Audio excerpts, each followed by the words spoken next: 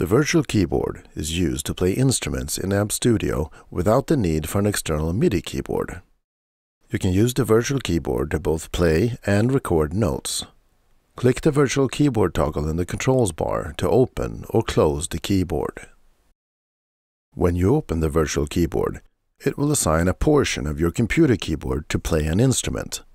The keys used for playback are printed on the keys of the virtual keyboard. You can also click on the keys to play them with your mouse.